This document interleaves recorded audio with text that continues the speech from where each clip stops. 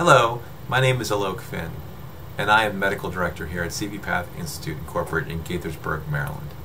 Our institute's mission is to conduct basic and translational bench-to-bed research in the area of cardiovascular disease.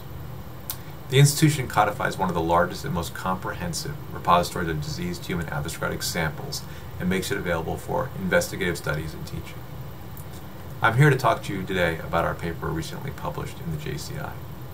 Prevailing paradigms describe atherosclerosis as a T helper type 1 driven disease, focusing primarily on the role of lipids as the stimulus for pro inflammatory M1 macrophage responses.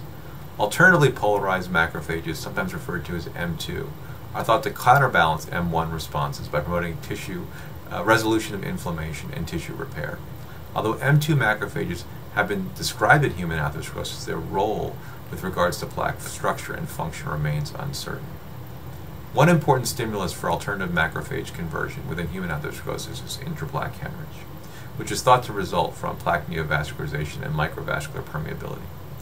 We previously showed that in these areas, macrophages ingest hemoglobin haptoglobin complexes via the scavenger receptor CD163, leading to a distinct non-foam cell anti-inflammatory phenotype, which has been called atheroprotective based upon these characteristics.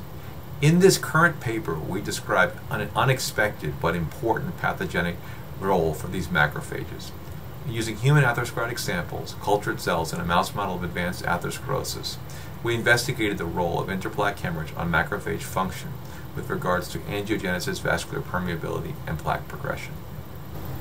First, we looked into CVPath's carotid endarterectomy plaque samples, and we assessed each plaque for the area occupied by the CD163 macrophages, we find a strong positive correlation between CD163 and plaque progression.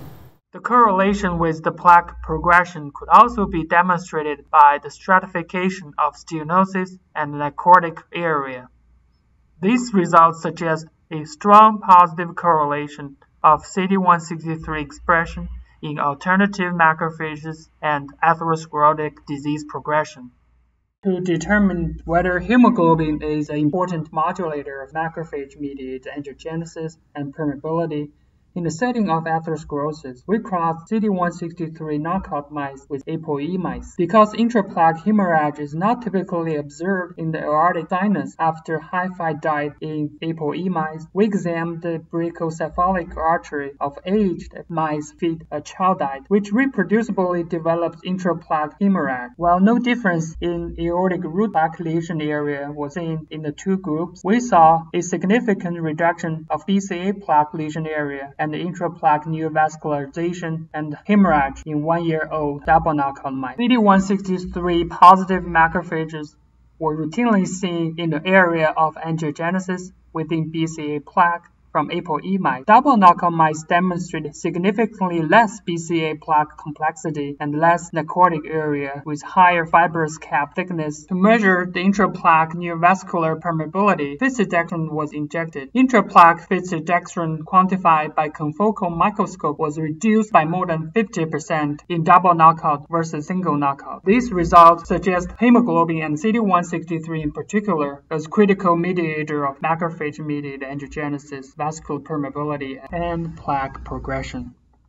To further explore the pro-angiogenic and pro-permeability roles of CD163 macrophages in the human coronary artery disease, we did a Evans blue perfusion study in intact and freshly collected human coronary artery samples. Cross-sectional examination of Evans blue perfused coronary arteries demonstrated distinct area of tissue staining Heavily Evans blue stained area were co-localized with intraplaque macrovessels surrounded by CD163 macrophages. VCAM was also shown to be co-localized with microvascular endothelial cells. Quantification of macrovessels, CD163 macrophages, and VCAM in Evans blue positive area showed a significantly higher microvessel density, more CD163 macrophages, and upregulated VCAM expression. These results suggest area of high macrovascular permeability in human coronary lesions are associated with the presence of CD163 macrophages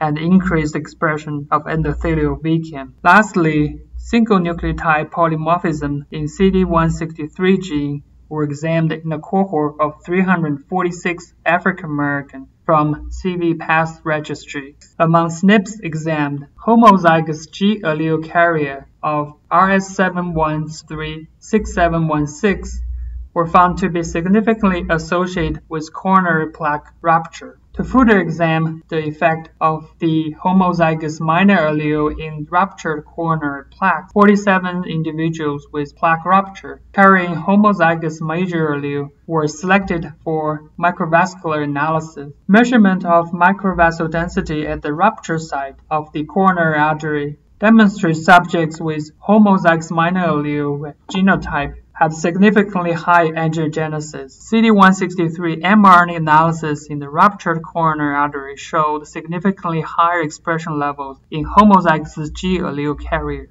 To confirm the significance of this SNP in a larger independent cohort, 3,364 ARIC study participants of African American were examined a total of 3,222 free of prevalence coronary heart disease at baseline were included in this analysis. The SNP variant indicated significant association with both incident MI and incident CHD. Together, these human data suggest the SNP variant in CD163 is a positive risk factor of coronary heart disease in patients of African ancestry. In conclusion, our study demonstrates for the first time that a specific macrophage subset driven by uptake of hemoglobin promotes intimal angiogenesis, vascular permeability, and plaque inflammation, features that probably promote plaque progression. Our data also reveal the molecular mechanisms underlying these effects and pinpoint the HIF1 alpha VEGF-A system as a potential target for anti-atherosclerotic therapies. Thank you very much.